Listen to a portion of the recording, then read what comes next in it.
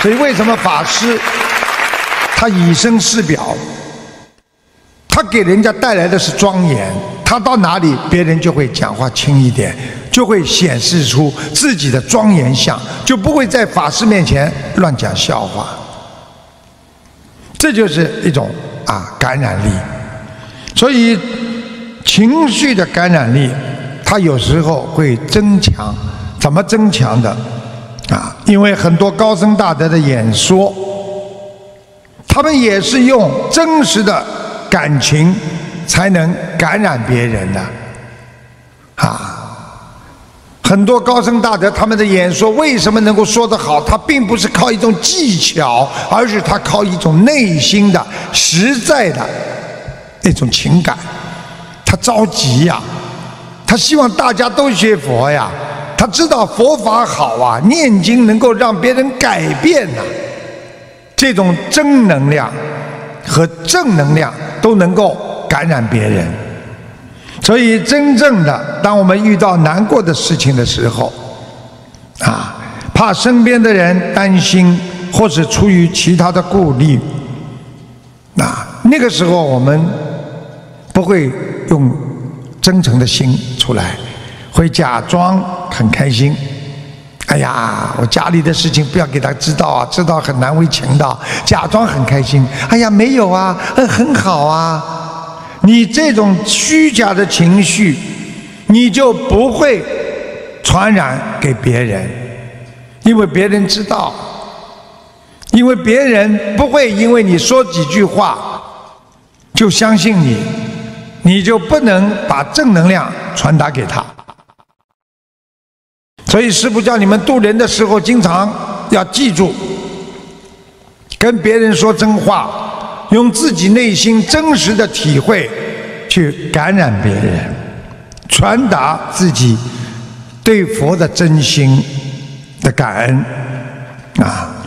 所以有的人虚情假意，并不会让对方感到真正的愉悦、很开心，不可能的。你跟他讲假话，哎呀，你真好呀！哎呀，我一看你呀，越活越年轻了。你怎么这么年轻？他知道啊，我不年轻了。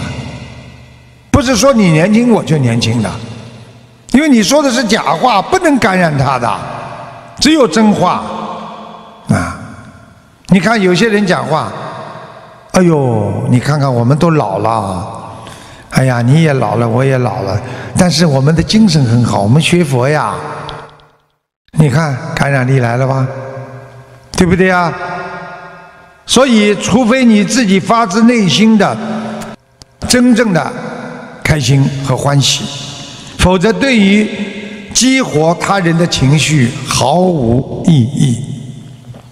你看很多演说家，他在演说的时候。他讲了半天，人家打瞌睡，为什么？他讲的都是自己要讲的，而不是别人要听的。一个好的渡人的人，大慈大悲，能够弘扬佛法的人，他讲的不是自己，他讲的是别人的心声啊，因为他心中啊充满着众生。而不是充满着自己的自私心，要我把这件事情推销出去，我把这件事情要说明白，而是他想到别人会有什么想法，应该别人众生他们希望得到什么，他才说什么，啊，这样才能激活别人的情绪。所以在心理学上讲，如果你确实遇到了烦恼的事情。你还不如直接的将负面的感情把它说清楚，就直接跟别人讲。哎呀，我今天呢碰到烦恼了，我很不开心啊，啊，别人还能帮助你。如果你强颜欢笑，啊，还笑嘻嘻的，其实心中很苦，还要跟别人、跟自己的亲戚和朋友说：“哎呀，我真的很好，虽然这件事情发生了，其实我也很想得开，啊，我怎么怎么。”别人不会因为你所临时感受的那种虚假的欢乐，给他带来任何一点点的快乐。所以这是不是告诉你们，学佛人啊，有的时候要学会用自己的心去体验和体会别人，那你会获得无上的智慧，啊，无上的智慧。那么多行善，你一定会有智慧。师父教大家多行善，福报自然增加。你的福怎么来的？你的福气怎么会在你身上呢？因为你多行善，你帮助别人，你能吃什么亏呀？你多做一点事情，你会损失什么？你得到的是福报啊！所以行善，再加上修戒定慧，那你就拥有了福的种子啦。很多人的福气怎么来的？一个是行善，一个是能够守戒，而且能够定得下来。碰到事情有智慧，你的福的种子种了下去。记住了，种下去福的种子，很快就会增长出来。